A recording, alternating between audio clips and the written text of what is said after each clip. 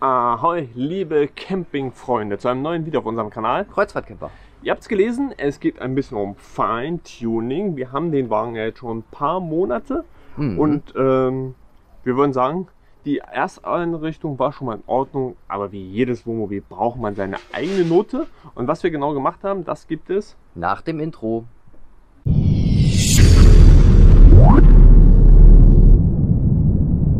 Wir sind reingegangen und hatten gleich unsere erste Diskussion, wie war das, das mit dem Radio, ähm, was wir da für eine Marke haben. Und apropos Radio, wir befinden uns hier in der Fahrerkabine in einem klassischen Fiat Ducato 7 müsste das ja im Endeffekt noch sein. Äh, Baujahr 2021 wurde er gebaut und wir haben ihn dann Gott sei Dank 2021 bekommen. Was haben wir verbessert? Als erstes ganz wichtig, das Radio. Wir haben hier ein vernünftiges Radio einge, eingepackt, was Apple äh, CarPlay hat und zwar wireless. Und es ist das ILX 705, richtig cooles Teil. Hat das eine oder andere Mäckchen schon gehabt, aber nach dem Update funktioniert alles wunderbar, weil Problem sind diese kleinen Scheißerchen. Wenn die nämlich ein Update haben, kann es sein, dass das Radio nicht funktioniert. Kennt ihr auch alle. Deshalb, es war eine gute Investition, das Ding auf jeden Fall zu kaufen. Und wo wir gerade das Handy hier haben, haben wir, oder hat Stefan im Internet, diese tollen Handyhalterungen äh, geschafft. Und das ist so wunderbar. Die haben dieses Induktivladen. Das heißt, hier hat er jetzt ein Kabel so lang gelegt, eine 3 Volt USB, 3 Ampere. 3 Ampere. Gut, gut, dass Stefan ein bisschen von Technik Ahnung hat und ich ja nicht. Auf jeden Fall 3 Ampere ähm, Ladesäule. Das heißt, hier können wir das laden, hier theoretisch auch. Hat nicht so viel Power, beide zu laden, deshalb äh, nutze ich das einfach nur für mich als Handyhalterung. Je nachdem, welche Hülle man hat, hält das direkt. Sonst gibt es aber bei dem Ding so ein Bobbele. Funktioniert Klebt man auf. klebt man einfach drauf auf die Hülle und es ist perfektometer. Ich muss ab und zu auf mein äh, Schaus Büchern gucken, weil wir haben so viele Sachen verbaut in den ganzen Jahren. Alter Falter. Darüber haben wir schon mal was berichtet. Äh, und zwar hat Stefan hier Lüfter eingebaut. Das kann man natürlich jetzt hier nicht sehen, weil natürlich hier nur so die Sachen sind. Gibt es auf jeden Fall auf unserer Internetseite. Da haben wir, glaube ich, was, äh, da haben wir was auf jeden Fall eingerichtet, also gezeigt, was wir da genau gemacht haben. Das ist dafür da, damit die Kamera, die hier drin ist, bei feuchtem Wetter schneller auslüftet. Also, dass es da trocken wird, weil sonst hat man Probleme, dass man äh, diese Assistenzsysteme nicht nutzen kann. Ne? Ja, dann ist jetzt hier so ein Spiegel dran. Ich weiß bis heute nicht, warum Stefan diesen Spiegel haben will, aber er wollte den unbedingt haben. Also Dann kann er ich hinten rausgucken. dann hat er den bekommen. Ja, was wir noch gemacht haben, ist dieses im Skyview. Wir haben hier, hier dieses wunderbare Rollo und das klappert ein bisschen. Das verzieht sich und Stefan hat hier solche Filz äh, ein, reingesetzt und damit klappert es nicht mehr so stark. Muss man immer wieder nachjustieren. Äh, wir sind in einem Fahrzeug, was, sich, was natürlich lebt, was sich bewegt und dementsprechend kann es sich immer wieder mal neu verziehen. Das ist aber so und ähm, ja, da kann man nicht meckern, da kann man nur was umsetzen und wie habe ich so schön gesagt, es ist immer gut, einen Stefan an Bord zu haben, der repariert sowas. Falls ihr den bestellen wollt, no way, keine Chance, gibt es nicht. Äh, ihr könnt ihn treffen, ihr könnt ihn mit Essen bestellen, aber bestellen gibt es nicht. Und jetzt gehen wir in die Dinette und Stefan erzählt euch da, was wir da alles gemacht haben. Wer Iris und Uwe von Iris und Uwes Womo-Welt kennt, der weiß natürlich, dass die äh, das gleiche Fahrzeug haben. Und die haben äh, im Prinzip den Tisch noch etwas anders, wie wir, nie, wir ihn haben. Ähm, bei uns ist er im Prinzip ab Werk einfach nur einmal justierbar. Dann geht er im Prinzip nicht mehr weiter. Bei Iris und Uwe ist es allerdings ein bisschen anders, dass die nämlich auch noch eine Viertelstellung setzen können. Und das haben wir hier nachgerüstet. Ich habe einfach das Teil einmal auseinandergenommen, habe dort zwei Löcher gebohrt, einmal auf der Seite, einmal zu der anderen Seite. Und gut war die Kiste. So kann ich meine Arbeitsfläche erweitern und ich kann halt auch den Beifahrer besser anbinden. Meistens sitze ich da und einmal kurz rangerutscht mit dem äh, Stuhl und gut ist die Kiste. Ja, was dieser Tisch natürlich noch für eine Funktion hat, wir haben das dritte Bett mitbestellt. Das heißt, einmal nach unten müsste man gucken. Wir können euch dann auch notfalls noch ein Bild einblenden, wenn es jetzt nicht so gut gewesen ist. Ähm, da ist halt einfach die Funktion, dass man diesen Tisch einmal eine Etage tiefer setzen kann und als drittes Bett benutzen kann. Gibt noch Polster dazu. Ähm, ja, das ist aber Serienausstattung. nur halt als extra mitbestellt für uns halt ein bisschen optimiert. Äh, ansonsten haben wir uns hier oben natürlich noch ein bisschen das Wohnlicht gemacht. Wir haben hier noch so einen Leuchtturm, den habe ich auch äh, mit Klett befestigt, damit er im Prinzip dort hält und nicht runterfällt während der Fahrt. Äh, auch der äh, Elch hier, der ist oben mit Klett befestigt, dass man den nochmal abnehmen kann. Naja, eine kleine Fahne noch dazu. Marcel hat seine Bücher da oben. Und äh, ansonsten haben wir auch die Ablage für sämtliches äh, Stromzubehör. Aber da kommen wir später noch zu. Ja, ich würde sagen, wir schauen uns jetzt das Thema Strom an. Das Herzstück dieses Fahrzeuges, der Stromanlage, ist natürlich bei uns eine Lithiumbatterie. Wir haben die äh, Liontron Lithiumbatterie mit 200 Ampere-Stunden genommen. Die passt komplett einmal unter dem Beifahrersitz. Da können wir euch nochmal ein Foto zu einblenden. Ähm, dort haben wir halt alle möglichen äh, Systeme dann angeschlossen. Also das heißt, das ist die Aufbaubatterie. Die alten Batterien sind natürlich beide rausgeflogen und haben uns natürlich damit auch ein bisschen, ähm, wie soll ich sagen, äh, Gewicht erspart. Ich glaube, so ungefähr 15 Kilo haben wir uns erspart und 15 Kilo ist dann doch schon mal 15 Liter mehr Wasser zum Beispiel. Ansonsten ist unter dem Beifahrersitz jetzt äh, im Prinzip an der Stelle, wo die Batterie ist, auch da versuchen wir mal ein Foto einzublenden, ähm, ein Wechselrichter reingekommen. Den Wechselrichter kann man hier an der Seite ein- und ausschalten, da gibt es einen Schalter zu. Und äh, ja, was ist da noch so drin? Äh, die nettechnisch haben wir dann im Prinzip noch die Steckdosen reingebaut. Der Marcel wird das mal zeigen. Einmal 12 Volt, einmal USB natürlich eine Doppeldose und noch eine 230 Volt Dose und diese 230 Volt Dose wird ausschließlich mit dem Wechselrichter betrieben. Das heißt, dort können wir unseren Strom ziehen, wenn wir denn hier was haben. Wir haben eine äh, wie man gesehen hat, noch eine äh, Verdopplung, also eine Dreifachdose dort angebaut, um halt ein bisschen mehr, äh, ja, wie soll ich sagen, ein bisschen mehr Geräte anschließen zu können. 400 Watt hat der Wechselrichter, reicht vollkommen aus. Und äh, was auch noch unter dem Beifahrer, unter dem Fahrersitz verbaut ist, ist äh, der Laderegler für die Solaranlage. Die befindet sich natürlich auf dem Dach. Das sind 200 Watt, also auch eine ganze Menge. 250 Watt, genau. Mein Off sagt gerade, natürlich ist es falsch, also 250 Watt haben wir hier auf das Fahrzeug drauf gekriegt. Das sind so eine Hochleistungspaneele, die sehr flach sind. Können wir euch auch nochmal ein Foto zu einblenden. Ähm, die Videos mit den Einbauten und so weiter könnt ihr, äh, werden euch äh, immer mal mit eingeblendet. Das heißt, ihr könnt euch diese äh, im Detail nochmal anschauen, wenn ihr da Interesse habt, was nachzubauen zum Beispiel. Auch in der Schaltzentrale haben wir ein paar Optimierungen gemacht. Unter anderem haben wir natürlich die Klappe hier weggenommen, die hier während der Fahrt etwas rumklappert. Das hat uns gestört, also haben wir gesagt, brauchen wir nicht, ist egal. Ähm, wir haben den Batteriewächter noch eingebaut, das heißt, wir haben da so ein Monitoring-System. Aktuell werden wir mit äh, 3,5 äh, Ampere geladen, das heißt, die Solaranlage arbeitet super, ist bewölkt, reicht vollkommen aus. Ähm, ja, USB-Dosen haben wir noch nachgerüstet und zwar im sämtlichen, in dem gesamten Fahrzeug. Das gehen wir jetzt einfach mal durch. Einmal haben wir hier eine schaltbare USB-Dose nachgerüstet. Die ist dann angeschlossen mit dem Hauptschalter. Und das sind alle USB-Dosen bei uns hier im, im System. Alle über den Hauptschalter, sprich alle über ähm, den äh, Schand, also nee, Schand nicht, wie heißt das? Äh, Schaut, über das Schaut-System, also es ist ja der, der Schaltkasten sozusagen und der schaltet dann alle USB-Dosen frei. Das heißt, wenn ich ausmache, dann ist das Ding auch aus, oh, obwohl ich den Schalter vielleicht nicht ausgemacht habe. Schauen wir uns nochmal weitere Dosen an. Wir haben hier in der DNet noch eine. An der Stelle, hier haben wir auch äh, im Prinzip jetzt gerade was angeschlossen zum Laden. Man sieht es halt oben. Und auch unser Netgear-Router ist dabei. Ja, der funktioniert natürlich auch darüber und ähm, das ist halt eine gute Position. Dann haben wir ja gesagt, unter der DNet haben wir schon eine Dose, eine äh, USB-Dose und wir haben natürlich auch noch hinten was eingerüstet, das zeigen wir euch jetzt. Man könnte sagen, ich habe es mir im Bett gemütlich gemacht. Auch hier hinten haben wir natürlich eine Doppeldose USB.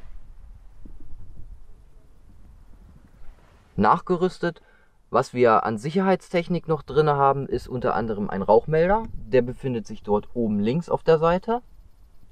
Und wir haben noch einen Gaswarner, den haben wir in der Dinette vergessen, den zeigen wir euch jetzt noch kurz.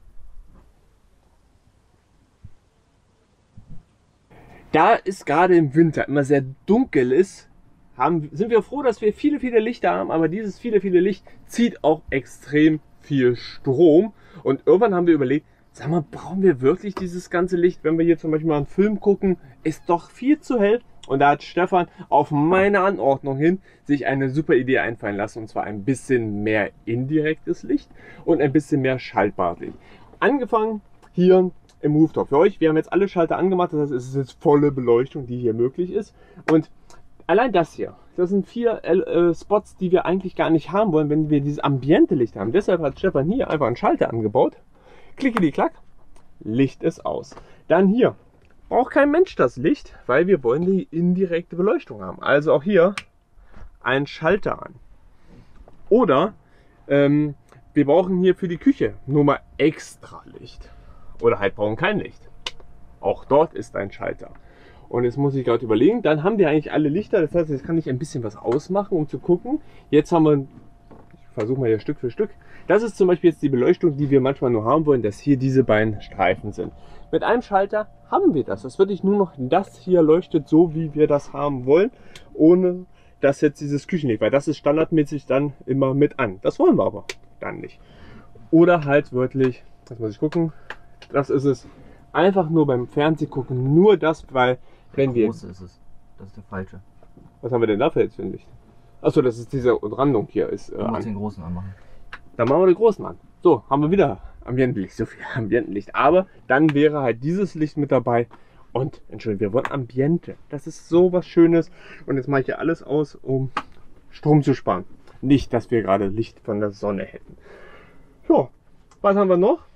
Ja, das ist äh, das Lichtkonzept hier vorne. Wir haben aber auch hinten ein ganz neues Lichtkonzept äh, gemacht, was es so am besten on top gehen würde. So, das Lichtkonzept hinten äh, kennt ihr wahrscheinlich auch in anderen Malibu-Fahrzeugen. es ist im Dunkeln oder beziehungsweise wenn es dann nachts ist, sehr hell, wenn alle Spots angehen. Und das ist doch sehr unangenehm, auch wenn man sie einzeln schalten kann. Dann schaltet man die Dinger halt aus. Ja, aber im Endeffekt ist immer noch eine, so ein heller Spot dabei, der doch im Dunkeln einfach zu hell ist. Wir haben uns jetzt Gedanken gemacht. Wir haben den Schalter im Endeffekt in zwei Teilen unterteilt. Vielleicht sieht man es jetzt gerade. Er ist sozusagen doppelschaltbar. Da gibt es normalerweise nur einen Schalter und dieser eine Schalter schaltet noch zusätzlich ein indirektes Licht und zwar das über mir, wenn man das da oben sehen kann. Ähm, das ist jetzt das Licht, was wir im Prinzip nachgerüstet haben. Einfach ein indirektes Licht und so ist es halt schöner im Dunkeln oder in der Nacht, wenn man dann halt mal raus muss oder so. Dann hat man halt nur ein indirektes Licht, es blendet nicht gleich so. Und ähm, ja, es ist auch äh, übrigens, wenn man vorne sitzt und Fernseh guckt und so weiter, hinten das Licht anzumachen, auch eine super Sache, weil es halt einfach, einfach ein angenehmes indirektes Licht von hinten noch ist. Was soll man sagen? Jetzt haben wir ein dickes Problem. Der Malibu hat hinten rechts in der Ecke, wo jetzt im Prinzip unsere ganzen Stühle und Materialien vor sind, hat er ein Licht. So, kommen wir also nicht ran. Was habe ich gemacht? Ich habe äh, es mir so überlegt, dass ich sage, okay, ich baue hier einen Schalter hin, ziehe hier eine Leitung raus und mache einen, ein äh, Licht hier rein, eine Lichtleiste, wo ich die einschalten kann, wenn im Prinzip äh, die Tür aufgeht, dass das Licht auch automatisch angeht. So habe ich gleich für das Ladesystem auch noch ein zusätzliches Licht und kann halt hier hinten im Dunkeln auch gut werkeln.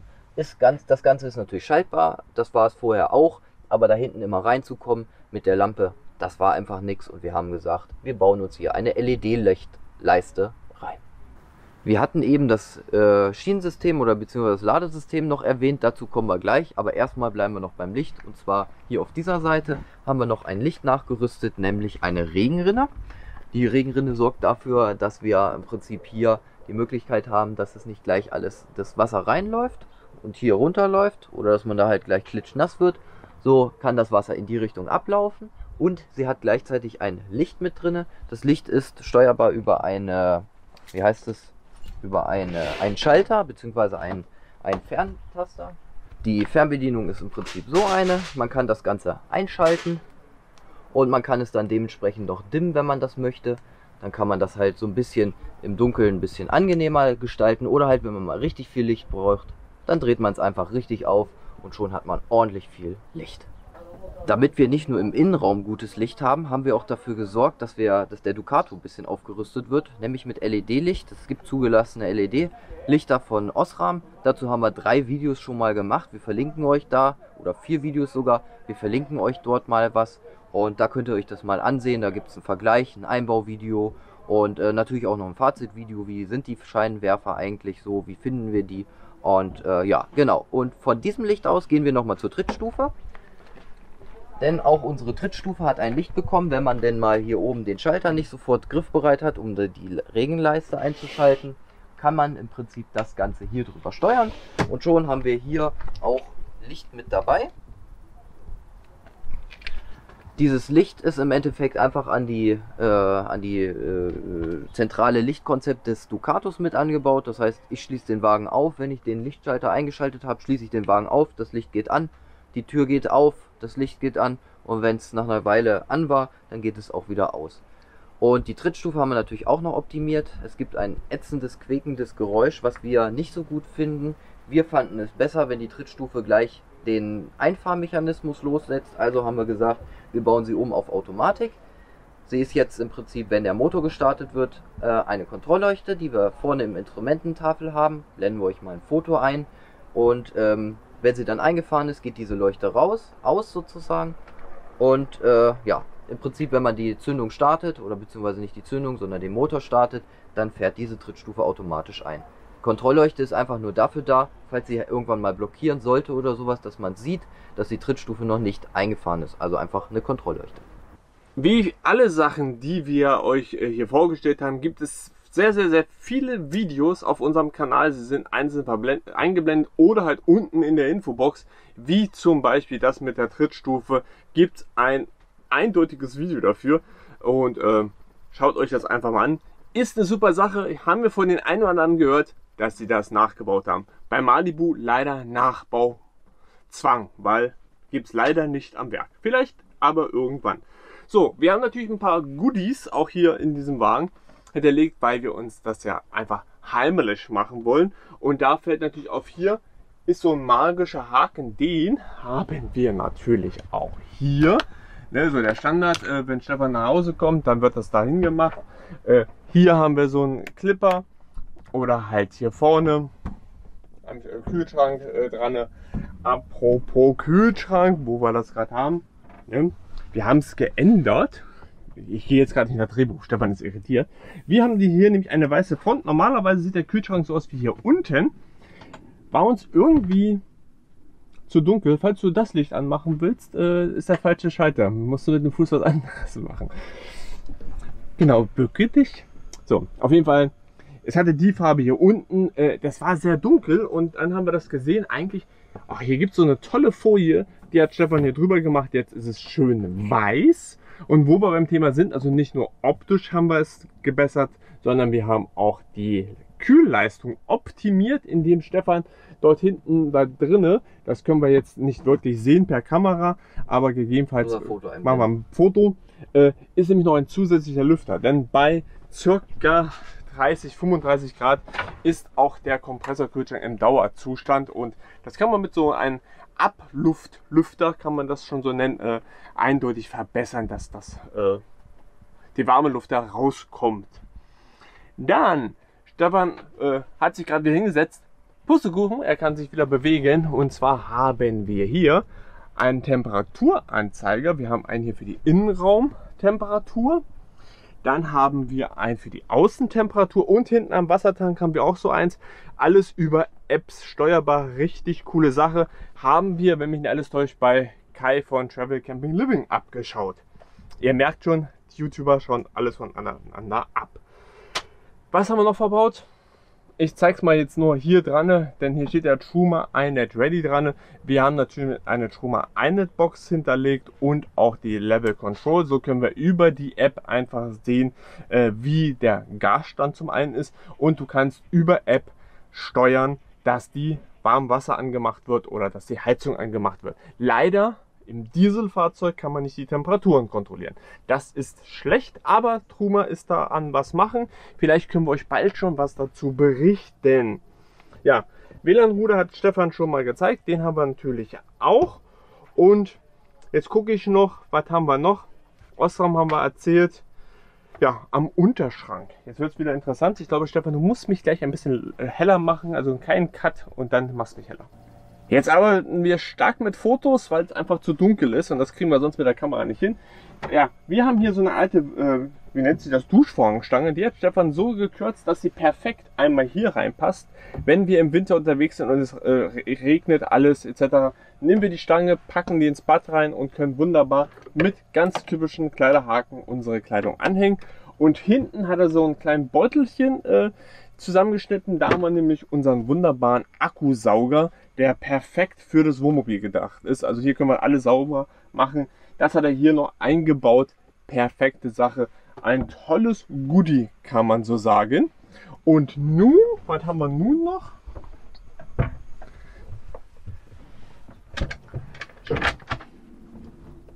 Ja, Toilette. Natürlich. Der typische Fehler. Kommen Sie mal mit. Und zwar da unten. Wahrscheinlich seht ihr es nicht ganz so gut, aber sieht man es? Weiß ich nicht so genau. Wir blenden zur Not ein Bild ein. Auf jeden Fall haben wir natürlich den Sog verbaut. Die Unterbodenvariante, das heißt, wenn man hier drauf sitzt, äh, dass gewisse Gerüche halt äh, weggezogen werden und dass wir auf eins verzichten können und zwar auf Chemie. Das brauchen wir nicht. Sonst noch dazu gekommen ist hier so eine Duschhalterung, weil ich brauche die ganze Höhe und dann ist die Duschhaltung an der Position leider für mich nichts. Bisschen höher gesetzt, Fenster offen und schon kann ich perfekt in diesem Malibu duschen. Weil dieses Konzept, dieses Raumbad, wunderbares Teile. Ja, und was wir noch so haben, das sagt euch Stefan jetzt. Hier an der Tür noch eine kleine technische Raffinesse, gesehen natürlich bei Iris und Uwe, die haben das als erstes schon vorgestellt. Äh, wir sind es auch leid gewesen, die Tür immer wieder zuzuschlagen. Wir setzen die jetzt einfach nur noch ran. Sie ist nicht ganz zu und sie wird mit einem Anziehsystem sozusagen rangezogen. Und das ist auch das System, was Iris und Uwe verbaut haben, nämlich von AST, also von AST. Ähm, ja, und wir gucken uns jetzt nochmal hinten die Heckgarage an, nämlich das Packsystem. Unser Ordnungssystem in der Heckgarage, muss ich sagen, ich liebe es wirklich. Äh, wir haben halt alles dabei, was wir brauchen. Hier hinten die Schläuche und so weiter. Wir haben äh, hier noch Krimskrams, die Ladegeräte für die Roller. Ähm, ja, und im Prinzip alles, was man noch an Werkzeug natürlich auch mal braucht. Das Ganze ist halt einrastbar und verbaut in dem äh, System hier mit drinne. Und unten haben wir natürlich unsere Roller immer noch dabei. Das ist halt eine super Sache. Die, diese Schienen, die können 120 Kilo ab. Die Roller insgesamt wiegen, glaube ich, so um, weiß ich nicht, 50, 60 Kilo. Und ähm, dementsprechend passen die gut darauf, ohne dass sie halt abbrechen oder sowas. Ich finde dieses System super. Und so kann man ganz bequem die Roller auch raus und reinnehmen. Genauso wie an die ganzen Zubehör, was man alles so braucht. Kommt man sehr gut ran. So, nachdem wir das diskutiert haben, Aufsteller ja oder nein, hat Stefan entschieden für nein, damit die Endszene nicht so lang wird. Genau. Wir haben euch jetzt eigentlich alles das gezeigt, was uns auf Anhieb eingefallen ist, was wir an Feintuning hier in unserem Malibu Van 600 GT genau. äh, reingebaut haben. Das Grundfahrzeug äh, gefällt uns sehr, hat seine Mankos äh, auf jeden Fall. Das hat aber zurzeit leider jedes Fahrzeug, wo wir hinhören. Äh, dazu gibt es vielleicht irgendwann mal ein Video nach zwei Jahren, könnte das glaube ich sein, wenn die ja. Garantie abgelaufen ist, was mussten wir alles machen. Mir fällt gerade ein, was wir noch geändert haben, ist der Türknauf von der äh, Badtür. Ja, das, das haben, blenden wir nochmal ein. Ne? Das haben genau. wir nämlich gerade auch noch geändert, weil sonst sind wir mal den dicken Knauf hängen geblieben. Das war auch nicht so schön. Und bei der Trittstufe haben wir auch noch eins vergessen. Wir haben den Schalter umgeswitcht. Jetzt ist das ganz äh, typisch so äh, rein und raus, so wie es reingeht und Instinktiver rausgeht. sozusagen, genau, so wie die Trittstufe. Einmal den Schalter umgeht, aber dazu gibt es ja gesonderte Videos. Wie allgemein viele Videos habt ihr schon immer im Einzelnen gesehen. Das ist jetzt das komplette Package, was wir alles gemacht haben. Jedes einzelne was wir hier verbaut haben und was, was im Internet bestellbar ist, gibt es in der Videobeschreibung beziehungsweise auf unserer Internetseite kreuzfahrtcamper.de und auch dort sind die Videos, die wir haben, soweit wir was da gedreht haben, auch mit verlinkt. Genau. Das heißt, ihr habt theoretisch jetzt viel Vorbereitung äh, auf den Caravan-Salon in Düsseldorf. Wie gesagt, ähm, da soll es auch Neuheiten geben. Welche Neuheiten dann vielleicht in diesen Wagen reinkommen, das entscheidet sich dort. Und mal gucken, ob es irgendwann ein Feintuning 2.0 geben wird. Das schauen wir uns dann mal an. In diesem Sinne, bleibt uns gewogen, bleibt gesund und dann sehen wir uns schon bald wieder bei einem neuen Video auf unserem Kanal. Kreuzfahrtcamper. Ciao, ciao. Tschüss.